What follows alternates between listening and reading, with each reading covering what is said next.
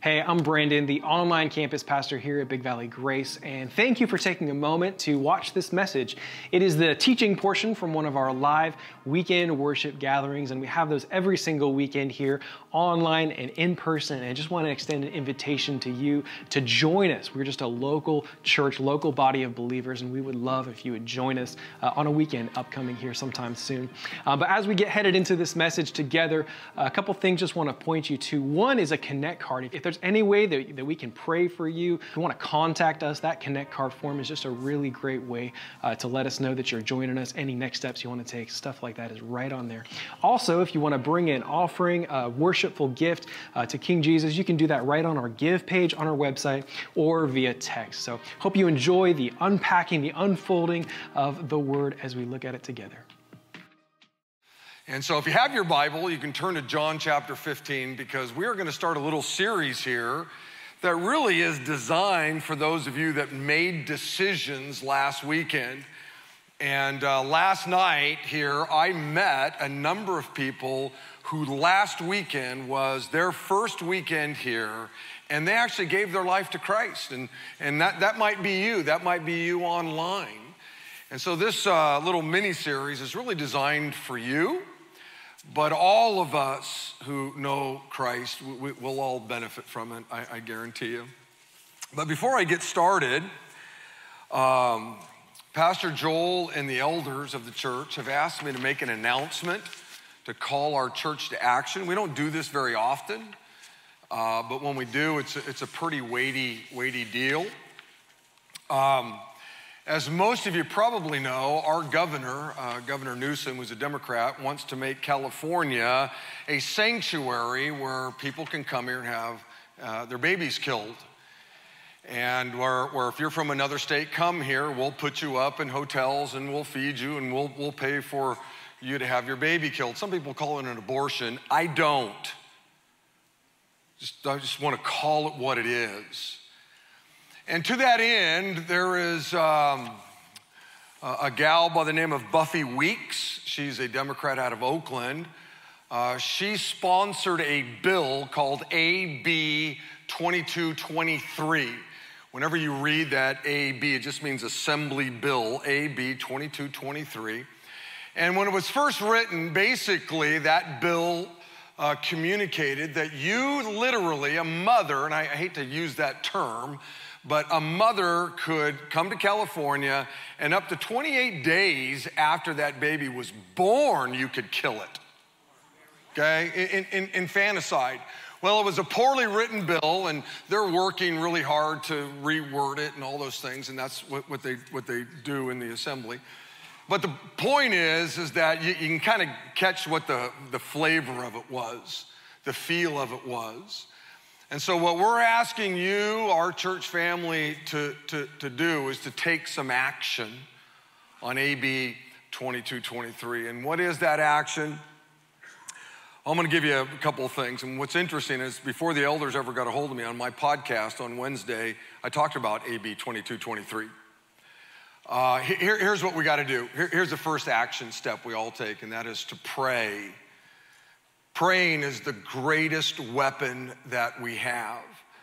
Our brother James tells us that the prayers of a righteous person, the prayers of a righteous man, a righteous woman, they're, they're powerful and they're effective. And so the first thing we got to do is we got to pray. It's the greatest thing we can do is pray. But there comes a moment when you kind of got to get off your knees and, you know, take, take some action. And the next thing we, we, we do is we contact our local representatives. And we have a sheet of paper that the elders and pastors have, or Joel have put together. It's called an update call to action. You can pick it up out in the information center, and on it, it'll give you a little bit more information on AB 2223. But it also, more importantly, gives you all the names and phone numbers and email addresses of those that are in positions to. Um, uh, craft laws, make decisions, okay? There, there are people in, in power, if you will. And uh, there's a whole lot of those folks on this sheet of paper. We want you to pick one up and, um, and email those people, uh, call those people, uh, send a snail mail to those people. uh, text those people and let them know about your opposition to AB 2223, okay? The third thing we want you to do is some of you are you're hearing this for the very first time and so what I'm doing is is I'm I'm, I'm, using some influence just to let you know about something. There's a lot of people out there that have no idea that this is even making its way through our state government. And so, you would use your influence, you, you may have a Facebook page that has five people that follow you. Well, that you can influence five people. Maybe you got 100 people that follow you. Maybe you got 1,000 people that follow you. It doesn't matter how many you have, or it could be. Uh, it, it, you know, it could be Twitter. it doesn't matter what it is. But if you would just let people out there, would you influence those around you and let them know about this crummy, evil uh, bill that's out out there? That would be uh, another action step. And I'll end with this. Um, we have to do it as believers in a, in a God honoring way. And that's where things can get tough because something like this, when babies are being killed, you know, I, I, I just want to go ballistic. And I have to remember that I'm a follower of Jesus. And we have to do it in a kind and caring way. And, and the illustration that I think I'll use to help us maybe see how we can talk with others about it, how we can influence others about it, is what took place on Good Friday. On Good Friday, we have Jesus who was beaten to a bloody pulp by, you know, a bunch of Roman soldiers. These Roman soldiers whipped him. They put this crown of thorn on his head. They put him on a cross. They're driving nails into his hands. They're driving a nail into his feet. The cross was a bloody, bloody, bloody mess. Thank God, because it's the blood of Jesus that cleanses us of our sins. It's not his teachings, it's not the fact that he was born, it's not his miracles, those just proved who he was, but it's the blood that cleanses us from his, our, our sins. But here's this bloody scene, and one of the last things that Jesus says is he looks down at these Roman soldiers, these ones that had beat him up and you know, whipped him and and, and put this crown of thorns on his head and put these nails in his hands. He looks down at the very people that had done this to him and he says, Father, forgive them because they don't know what they're doing. Wow. That is an incredible attitude. I expect unbelievers to act like unbelievers. I expect unbelievers to sponsor evil bills. I expect that. They're unbelievers. They, they, they, don't, they don't know what they're doing. They're, they're blinded by sin, they're, they're blinded by their unbelief. And Jesus understood that.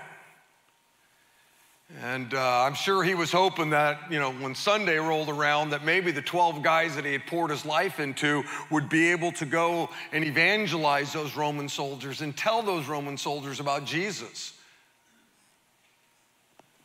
And one of the things we want to do is we want to stand against evil, stand in the gap against evil, but we got to do it in a way that somehow honors the Lord, and that's not always easy.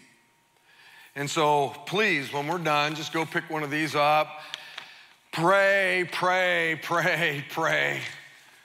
And then say, okay, you know what? I'm going to call somebody, I'm going to email somebody, influence those around you, but always remember to do it in a spirit of love and compassion. And maybe the illustration of Jesus on the cross dealing with those that had put him up there might, might guide you, okay? So, Lord, thank you for a chance to gather and look at your word. Have your way with us, Lord. I do want to pray for our governor, Buffy Wicks. God, pray, God, that somehow, some way you would work in these people's lives. Man, hate to think just the evil that things like this can per- be perpetrated on little tiny babies. So we need you, Lord. Bless our time, and I pray this in your name. Amen. Amen. So, as I said, um, one of the things that Joel wanted to do was okay, it's after Easter, all these decisions were made for Jesus, and let's maybe help uh, those new saints understand a little bit about what does it mean to be a believer. Now, now that you've given your life to Christ, you know, what, what does that mean? Now that the Holy Spirit lives in you, what does that mean? Or, you know, you, you got off track and, you know, we're living in a sinful way and whatever, and now you rededicated your, your, your life to Christ. And when you rededicate your life, that just means that you were living in a crummy way. Something, something happened, and, and now you're saying, hey, you, know, God, I, I want to I wanna follow you. And for those of us that have walked with God for a long time, it would be a great reminder what does it mean now that I'm a believer? Because the greater your understanding of who you are in Christ, now that you've given your life to, to, to Jesus, the greater the chances are that you'll live a fruitful life. The more you understand about this new life in Christ, what it means to be in Christ, what your identity is in Christ, or however you want to word it, makes a difference in how you're going to live. For instance, if, if you think you're a loser, I'm a loser, you know, the chances are pretty good you're going to act like a loser the chances are pretty good you're going to want to hang around a bunch of losers because that's the way you see yourself. If you see yourself as a victim, then you know what? You're, you're, you're probably going to hang around with people that, you know, just find themselves being victims. And you're just going to carry yourself as a, as a victim or whatever. If you see yourself as uncreative, the chances are pretty slim that you're going to even try to be creative because you don't see yourself as created. On, on the other hand, if, if you see yourself as successful, the chances are pretty good you're going to want to hang around or even hang around with successful people, and the chances are greater that you'll actually be successful. If you see yourself as someone that's been forgiven by God and deeply loved by God and a child of God, then the chances are pretty good that you'll live appropriately. In fact, there have been hundreds and hundreds of studies done at major universities on this topic. How you see yourself matters. How you see yourself determines to a great degree how you're going to live your life. And one of the things that's interesting is it doesn't take a, you know, university study for us as believers to understand that because thousands of years ago in the scriptures, God penned these words For as he thinks in his heart, so he is. That's Proverbs 23. For as a man thinks in his heart, so he is. That's pretty powerful, isn't it? What, what you think about you matters. What you think about you know, your life, man, I'm telling you, it, it, it, it, impacts you in ways that you have no idea. Warren Wiersbe, who was a really great theologian, said this You may not be able to see your thoughts or weigh your thoughts or measure your thoughts, but that doesn't mean they're not real and powerful. Man, there's stuff up here you don't even know that's up there stuff that's been taught to you when you were a child from your parents, your grandparents, teachers, professors. Man, there's just all kinds of things up here that are stored in this wonderful thing called a computer. John Maxwell, another great Christian guy, he said this What occupies your mind and what you think about means more than anything else in your life. Wow. Now, uh, that's not scripture. I don't know if that's true or not. But that's a powerful thought from a very mature believer. Dr. MacArthur said this spiritual, spiritual stability is a result of how a person thinks. The Bible leaves no doubt that people's lives are the product of their thoughts. Wow. And what you think about yourself matters. And, and so I was really thankful that Joel said, hey, why don't we do a, a little series where we look at our identity in Christ. What does it mean to be a believer or a follower of Jesus or whatever word it is you want to use? Because I think he's on to something. There's an old saying that goes garbage in, garbage out, right? Paul said in 2 Corinthians chapter 10, he said, We demolish arguments and every pretension that sets itself up against the knowledge of God, and we take captive every thought to make it obedience to Christ. And what Paul's basically saying there is this is that there will be times in our lives, could be five minutes when you walk out of here and you get in your car, stuck in a traffic jam. Maybe you're on your way to work. I don't know when it'll be. But there'll be a thought that'll run through your mind, and it's an evil thought. It's a wicked thought. It's a, it's a crummy thought. And we all have them. I don't care how long you've walked with the Lord. And so what Paul's saying is, is, you know, I don't know, you're driving down the road and, and, and somebody cuts you off on the freeway. And, you know, and you, you, the thought is, I'm gonna run the you know, my car right in the back of that guy. And what Paul's saying here is whoa, whoa, whoa, whoa, whoa. Take that thought captive. Is that thought from Jesus? Is that a biblical thought? No, that, that isn't. You, you take it captive and you go, whoa, not, not acting on that. Because that's a thought that's coming from a crummy place. That's a thought that's coming from my flesh. That's a th- thought that's coming from my Adamic nature, the old nature, whatever, whatever word you want to use. But you need to make sure you got good thoughts up there, biblical thoughts up there to replace it with. So, here's what I want to do real, real quick. Is I want to give you three fundamental truths that all of us need to know, but especially those of you that um, are new believers. Especially those of you that maybe you got off track and I don't know how it happened, but uh, you didn't take thoughts captive. And those thoughts just kept piling up, and before you know it, you showed up here last weekend, or you showed up in Ceres, or you're watching online, and you went, Man, you know what? I'm so far away from the Lord, I got to rededicate my life, kind of a thing. I'm gonna give you three fundamental truths that we all need to know. These are things you need to have in your brain. And the first one is this is that God created everything. And that includes you. Genesis chapter 1, you go to the very first book of the Bible. says, In the beginning, God created the heavens and the earth. And I've often told you, I, I, in chapels that I do, when I go places and speak, and I speak at lots of different things, um, I will often talk about the most important words in all the Bible are the first five words of the Bible. In the beginning, God created.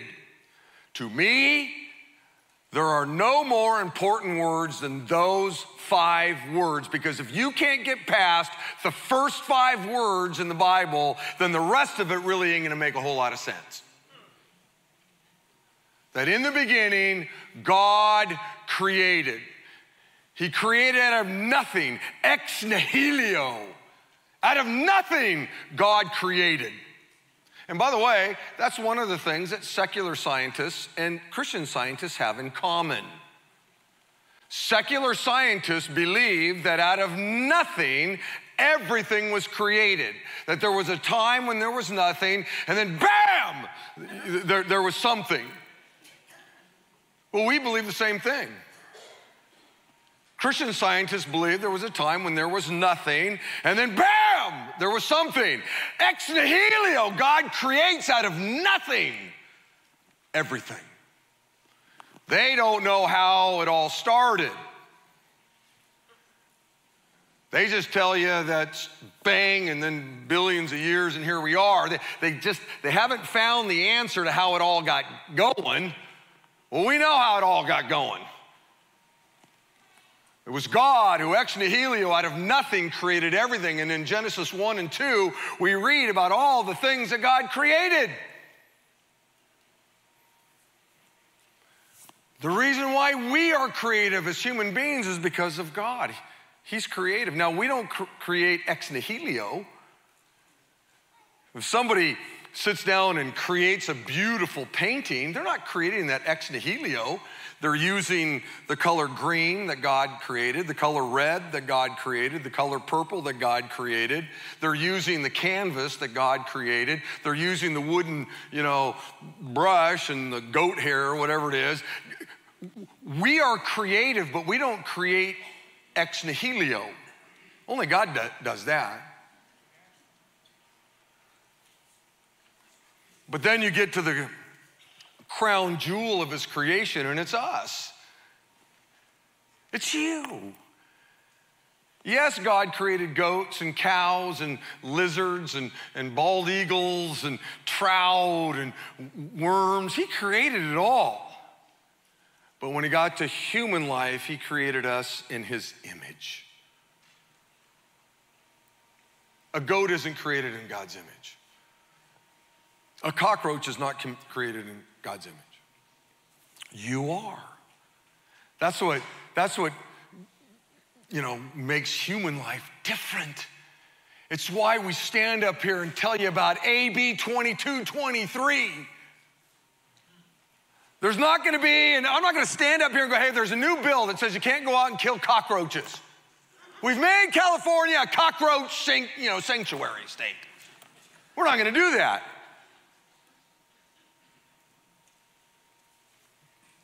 We do that because we know that human life is sacred.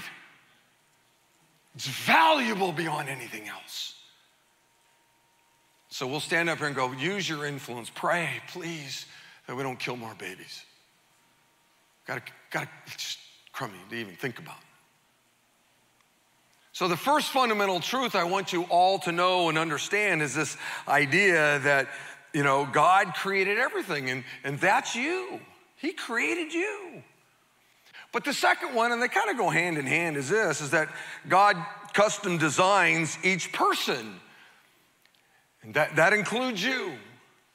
The Bible says in Psalms 139, you, this is a, a, man by the name of David. He was a king, and he's talking. He says, You, that's, that's God. God, you made all the delicate inner parts of my body. You knit me together in my mother's womb. Thank you for making me so wonderfully complex.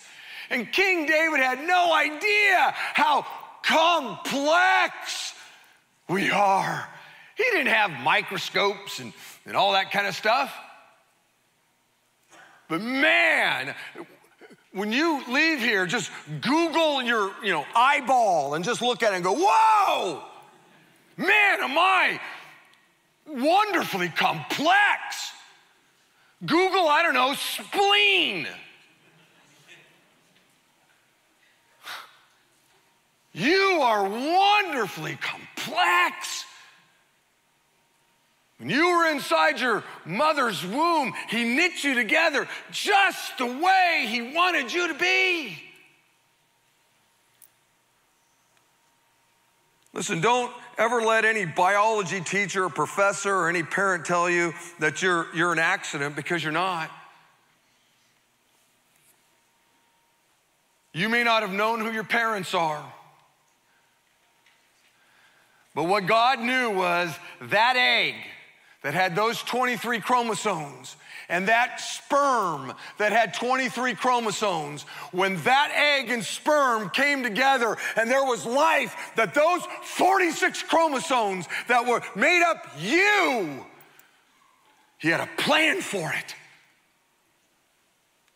Hey, look, there are accidental parents. My parents, I, I was an accident. I have a sister who's 14 years older than I am.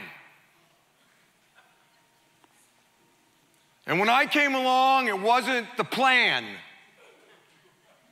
And I can remember being four, or five years old in my, my bedroom, and I would hear my mom and dad out in the living room talking about, you know, my dad was upset because, you know, mom, my mom wasn't using birth control or whatever, and all of a sudden little Ricky comes along, and now they're not gonna be able to do their retirement or whatever it was. And then I was a mistake, and I hear it. And by the time I'm six, it became such a bummer to them that they divorced. They were accidental parents. Listen to me, listen. But there's no such thing as an accidental baby. There are accidental parents, I get it. But if God allowed that egg and God allowed that sperm from whomever they came from to get together, that was planned by God, and you are unique. There's some sort of purpose that God had for that egg and that sperm to get together. Some of you don't know what that is. I get it.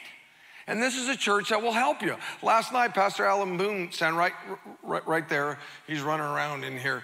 Uh, I'll just tell you, one of the things that gives him great joy is to meet with him. And guess what he helps you do? He helps you figure out what is it that God had planned for you. What is it that God wanted you to do? He allowed the egg and the sperm to come together. He created the life inside you that's wonderfully complex. And it's okay that you don't know. We'll help you figure it out, but I just want you to know, even if you don't know, it's a fundamental truth that not only were you created by God, but He created you for a specific purpose, okay? The third fundamental truth, and this maybe gets us into our text, is this is that the moment you surrendered your life over to Jesus, God gave you a new identity. A lot of amazing things happened last Sunday or Saturday night here in this building or online or at Ceres.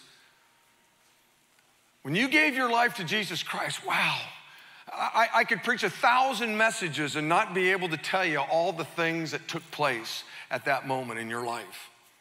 But one of them is, is that you got a new identity. The Bible says in Second Corinthians, therefore, if anyone is in Christ, if you've given your life to Christ, he is a new creation. The old is gone and the new has come. And he's not talking about this. This isn't new. This thing just keeps getting older and older, and I got sores and things, and my eyes are going bad, and I can't hear hardly. This thing, he's not talking about this. My dentist is right, right down here. My teeth are, I don't know. I know I need to floss more. I, I, I you know, I get it. I, and I do. I floss every six months when I go in and, and I, the, the lady goes in and does it. So I, I, I'm, I have, I'm on a schedule, a six month schedule, doc. Um,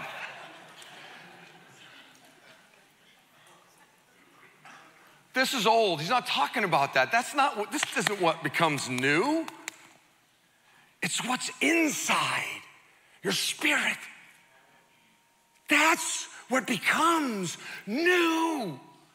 Because now God, through His Holy Spirit, lives inside of you. Unbelievable what, what takes place. So, what is your new identity? Well, I'm gonna give you one thing. Okay, there's a whole lot of things, but I'm gonna give you one, and this gets us to uh, John chapter 15. Okay, so you're all there. Look at verse 1. And this is so simple. I, I, I, I hope I don't screw it up. I've been known to screw some things up when I'm preaching. There are times I've gone home on a weekend and gone, man, how did I mess that up? But I did. just did.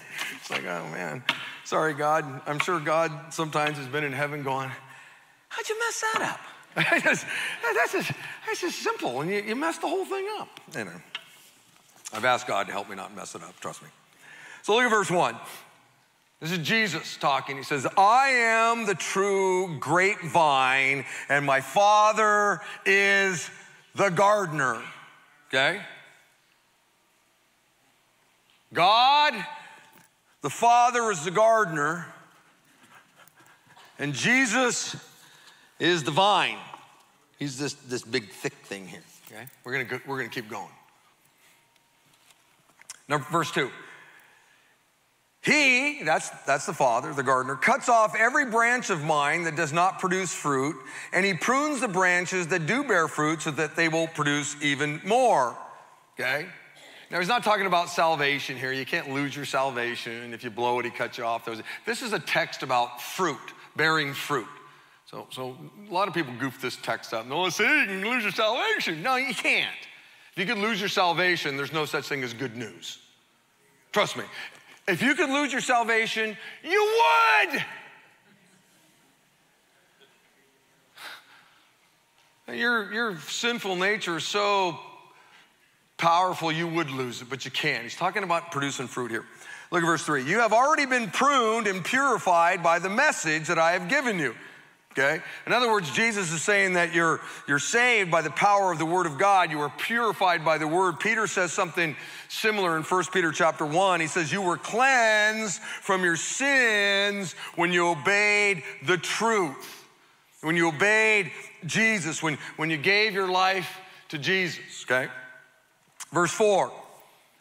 He says, Remain in me some of your Bibles say, Abide in me, uh, commune with me. Some will say, Obey me. And I will remain in you, for a branch cannot produce fruit if it is severed from the vine, and you cannot be fruitful unless you remain in me. Yes, Jesus says, I'm the vine, and you are the branches. Those that remain in me and I in them will produce much fruit, for apart from me, you can do nothing. So, Got God the Father, He's the gardener. You got Jesus, right? He's the He's the vine, and, and, and, and, we're, we're, we're, we're this branch, right? Now, here's how simple the illustration is this is done. This cannot produce fruit anymore. It's done. Still looks pretty. In fact, I was talking with some farmers who will tell you that when they prune branches, they'll start to bud, even though it's not connected. You'll see a little life. It still looks good.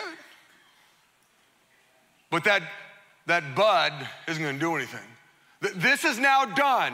It is done. It cannot bear fruit. It's impossible for this to bear fruit. It has now been disconnected from the life source. It's done.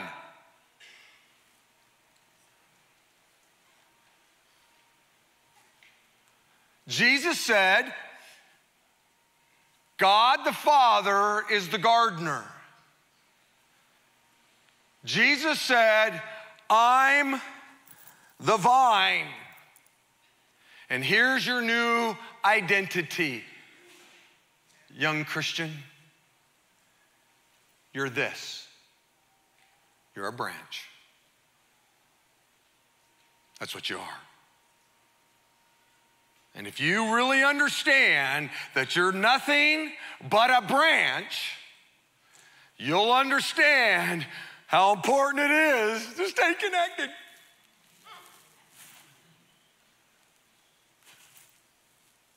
You're toast. You can, you can produce fruit. I'm a loser, right? I can produce fruit. What's amazing to me is that branches can walk around thinking that they're doing something amazing for God and they're not.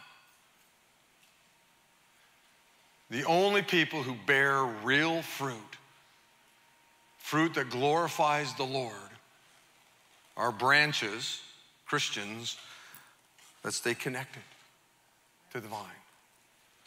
It's the only way you're going to bear fruit.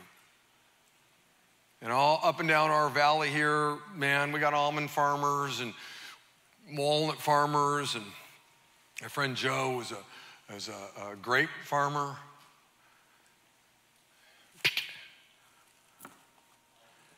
That branch is now done. No more grapes, no more almonds, no more walnuts, no more peaches, It's done producing fruit. The only branches that are going to produce fruit are the ones that Joe leaves on the vine. Or Mr. Heinrich leaves on the vine. Only ones. Oh, this still looks pretty.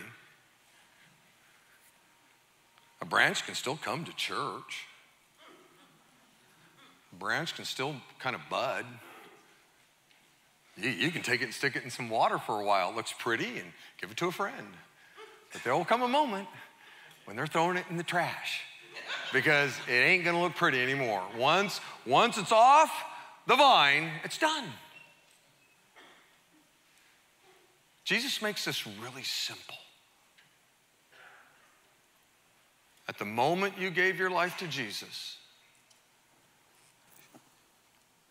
you're now connected to Him. And as long as you stay connected to Him, it's a win. Once you disconnect yourself to Him, you're done. And I began to think about some of the things that disconnect us at times. Sometimes it can be our spouses. I know some guys and gals over the years here where the guy really wanted to walk with God and do things, come to church, give, whatever. The girl wanted the same thing, but the husband didn't. You know, I'm done with God. I don't want anything to do with God. And boy, just, the influence of a spouse, they're disconnected. Could be a boyfriend or a girlfriend. Boy, they'll, they'll disconnect you in a hurry. I'll tell you one that does it, probably more than anything, is a career. a career will disconnect you. A lot of things will disconnect you. Now remember, this is a story about producing fruit. You can be disconnected and be a believer. You're still a Christian. You're just not going to produce any fruit. But at any moment, the beautiful thing about God is He can stick you back in, in the vine. So let me give you, as I wrap this up, um,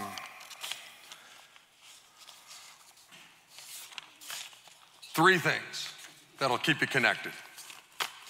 Three things. And these are no brainers. We all know this, but I'm going to reiterate them anyway. And the first one is this you got to spend time in the Word of God. You got, you got to read this thing and, I don't know, study this thing. You got to memorize it, meditate on it, and especially you got to do it. If you don't, if you don't, if you just read it and memorize it and study it and you don't do it, it's, it's nothing. It just, it just accomplishes very little.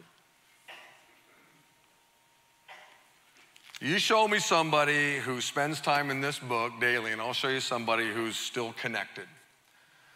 Uh, was uh, uh, um, 16 months ago, it was a January, I was preaching in here, and I told everybody one of the goals I had for January, and that was I wanted to listen to the Word of God. I've read the Word, of the whole Bible many, many times, but I'd never listened to the whole thing. And so I told everybody, hey, this year, my goal is I want to listen to the, the Bible, kind of, kind of a thing, listen to the whole thing. So every morning, except for Sundays, I take a, um, a walk, a long walk. And it's early in the morning, and the first 20 minutes of the walk, I listen to, through my Bible app to the scriptures, and I started in the New Testament. So I went Matthew, Mark, Luke, John, Acts, all the way through Revelation, you know. Then I, I got around to, to, to Genesis, Exodus, Leviticus, Numbers, Deuteronomy. Uh, Saturday, yesterday, I finished. I got to the end of Malachi. Now, it took me 16 months. I was hoping to do it in 12. And part of it was I didn't I didn't know how many, you know, when you're listening to it, I didn't know how to break it up, you know, right. And so I just would listen and stop, and you know, I just kind of didn't figure it out right. And I, am not mad because I didn't make it in a year, but I, I set a goal. And I listened to the whole thing. Now, tomorrow, I don't know what I'm going to do for the first 20 minutes. Got to figure this out. Maybe I'll go, I'll go through it again. I, I don't know because for 16 months I knew what I would do. I'd listen to the word. Now, obviously, I'm reading the word and at times, but let me tell you, there's no there's no getting around the word. You can't get around it. You want to stay connected, bear fruit kind of thing. It, it, this is critical. Jesus said, Man doesn't live on bread alone, but by every word that comes from the mouth of God. You got to have food, you got to have some bread, but we don't live on that alone.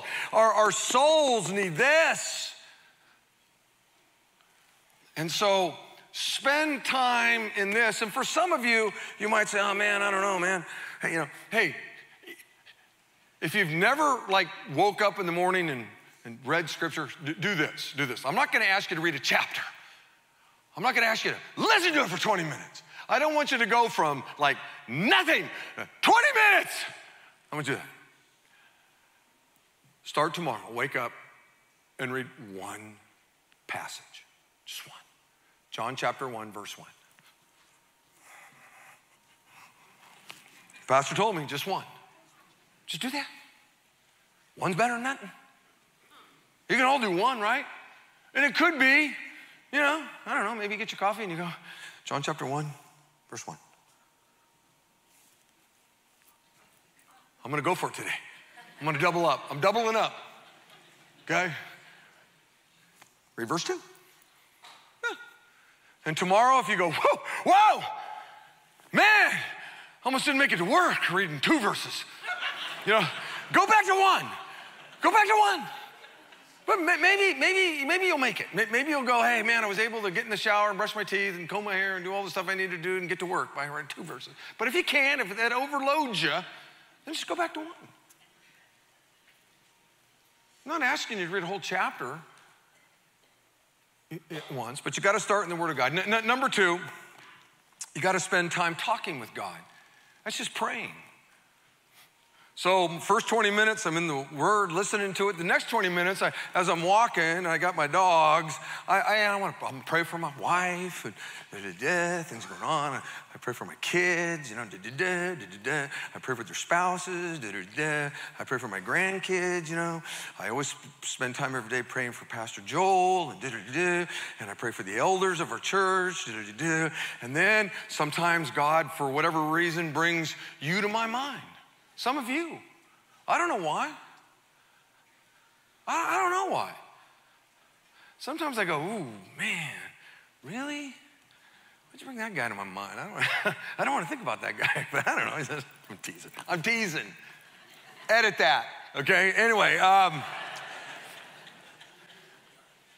I pray for some of the things that are going on. Pray for AB 22, 23. I just spend some time talking to him. And some of you who live in my neighborhood, you've come up on me as I'm walking. And I know what you're thinking. You're going, yeah, poor Pastor Rick, he's lost it. He's, he's, his, his mind is finally cracked because I'm, I'm taught, I'm just, yeah, man, come on, God, really? It's, you're letting that go down? I don't, that doesn't make any sense to me. Help me, God. I don't know, you know, whatever. Eh, eh, eh. And somebody will, you know, they're walking their dog and they'll see me and, you know, they shoot across the street. there, there's that crazy homeless guy who's just weird, man. You don't have to, you know, get on your knees in a closet somewhere. Just, you know, just walk around, talk. When you're driving, turn your radio off when you're driving on your way to work and just talk to God. And the third thing is you got to spend some time fellowshipping with, with the people of God, right? Isn't there just isn't there just something powerful about this? Showing up here on Sunday, and you, you know, you, you, you, see people you haven't seen in a long time. Hey, how's, hey, how was your week? Da, da, da. And, and here's the deal. I, I, I hear this all the time. Yeah, Big Valley's too big. It's too big. What are you talking about? You know, psychologists have figured out that you can only get to know about 15 people. That's it. That's it. So when you come to a big church like this, you get to pick which 15 you want to hang out with.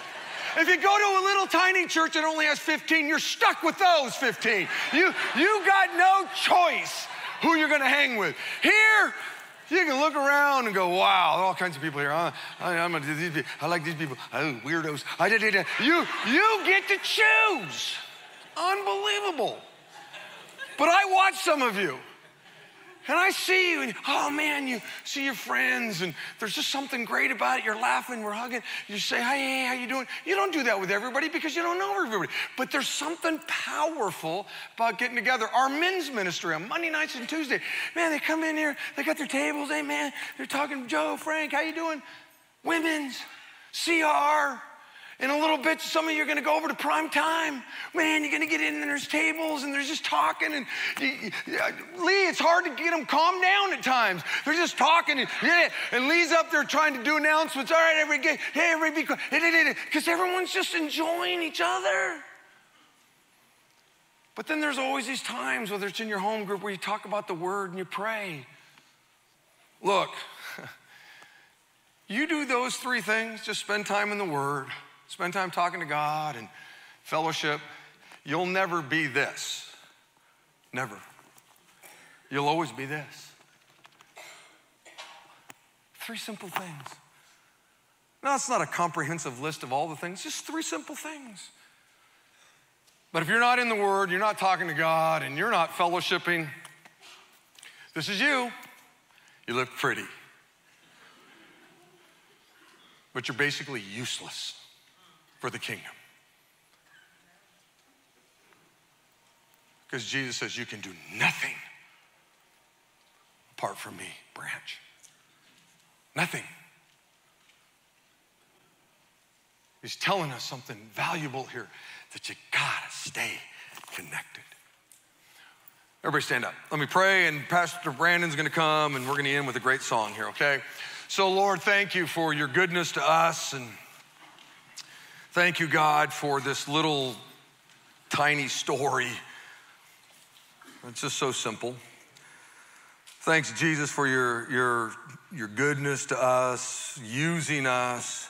I get to see a lot of people here that are connected to you, and man, they're producing incredible fruit, Lord. It's beautiful. It's beautiful.